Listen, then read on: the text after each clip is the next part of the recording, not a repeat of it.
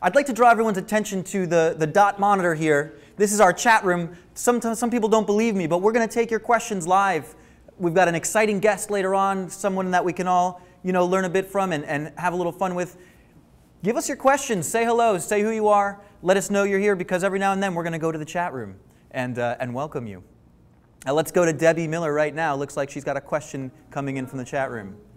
Okay, the Alex says, hi, 7D or 5D MK2? I think the 5D looks way better.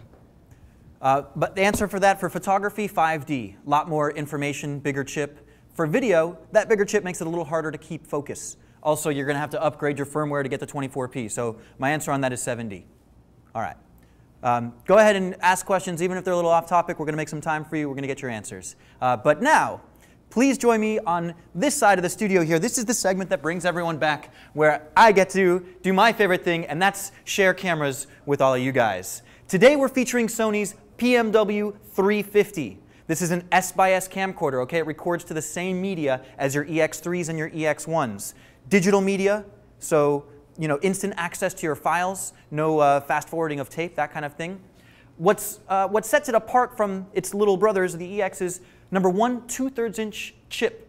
All right, so a, a nice gigantic chip that uh, allows you to use your existing glass or, you know, get the, the lens that comes with it.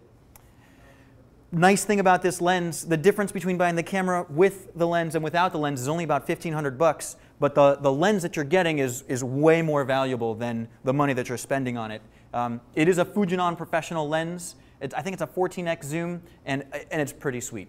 Another thing that sets this EX apart from the little brothers is that it's got this nice shoulder mount. Okay, it's something that can actually sit on your shoulder, and you can spend all day in the field shooting and not, you know, have to uh, have to be doing bicep curls to, to prepare yourself for it. A couple other things that set it apart. Watch how quickly, from the time I turn it on to the time that it's ready to shoot, wham, it's already ready. That was fast. Uh, some of the other cameras take a little bit of time to warm up. This one does not. Lastly, in the setting it apart from the other cameras, uh, Mr. Jose, check this out. The giant sideways flipping LED viewfinder. On, uh, in this mode, you've got a nice three and a half inch screen. You can close that up and get your classic EX3 style viewfinder. Or if you really got to darken it up, close it down, stick your eye right in the eyepiece there. Pretty cool, pretty cool. All right, um, a couple other external features you want to know about. Two S by S slots. All right, you're getting an hour on a 16 gig card. You're getting two hours on a 32 gig card. It does have two slots. It's also compatible with those uh, snap-on hard drives, the PHU 60K and the PHU 120K. Some people like those, some people don't.